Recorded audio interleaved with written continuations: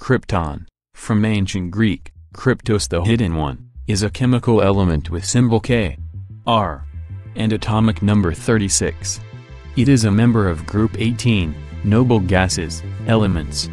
A colorless, odorless, tasteless noble gas, krypton occurs in trace amounts in the atmosphere and is often used with other rare gases in fluorescent lamps. With rare exceptions, krypton is chemically inert.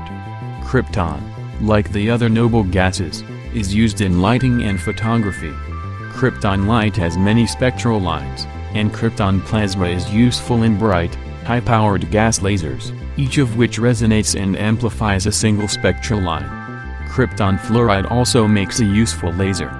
From 1960 to 1983, the official length of a meter was defined by the 605 nanometers wavelength of the orange spectral line of Krypton 86 because of the high power and relative ease of operation of krypton discharge tubes. Krypton was discovered in Britain in 1898 by Sir William Ramsay, a Scottish chemist, and Morris Travers, an English chemist, in residue left from evaporating nearly all components of liquid air. Neon was discovered by a similar procedure by the same workers just a few weeks later. William Ramsay was awarded the 1904 Nobel Prize in Chemistry for discovery of a series of noble gases, including krypton.